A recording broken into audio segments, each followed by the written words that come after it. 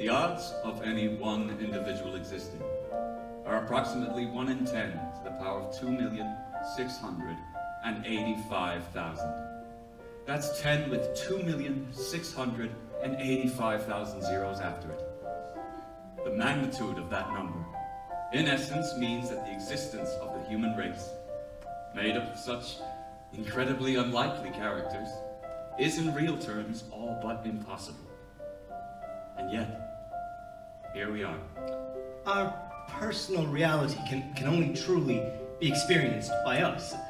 Our reality is ours, and ours alone. In, the same way, a dream can only truly be experienced by the dreamer.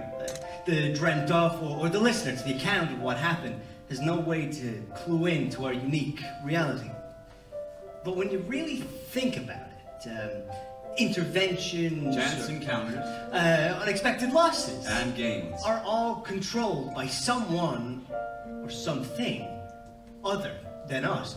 We may think we're in control of our lives, but the chances of that being the case in real terms are all but, well, practically impossible.